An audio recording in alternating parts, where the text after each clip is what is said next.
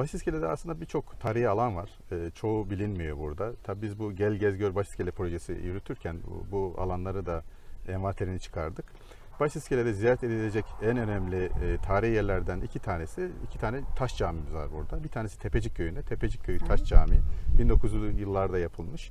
Diğeri de Servetiye Köyü Taş Camii. Bu da aynı tarihe denk geliyor aşağı yukarı.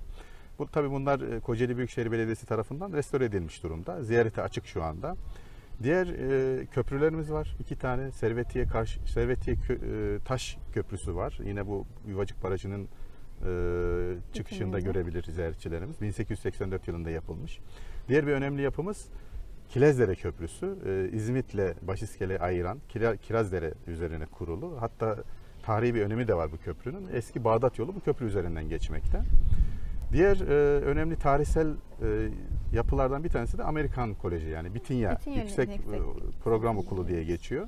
Bitinya Koleji 1860'lı yıllarda e, boarding heyeti tarafından kuruluyor. Hay Parsons tarafından kuruluyor. Fakat günümüze çok az bir kısmı e, ulaşmış şu anda. Şapeli, lojman Evet, ve 60 evet, dönüm o- üzerinde kurulu bir yer. Sadece şapel ve lojman kısmı e, günümüze ulaşmış. Yine bunu da ziyaretçilerimiz gelip burada ziyaret edebilirler.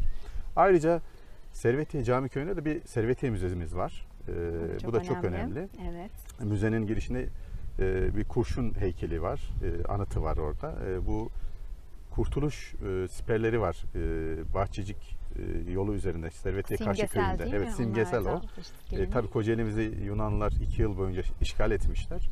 Kurtuluş siperleri de e, Yunan kuvvetlerine karşı burada çok büyük bir mücadele verilmiş. E, ve Yunanlar burada püskürtülmüşler. Bu, bu sebeple açılan e, siperler. Yine ziyaretçilerimiz o siperleri orada görebilirler. O siperlerde kullanılan savaş ekipmanlarını da bu Servetiye Cephesi'nin müzesinde ziyaret edebilirler. Bu müzede bu e, savaş silahlar sergilenmekte. Bunu da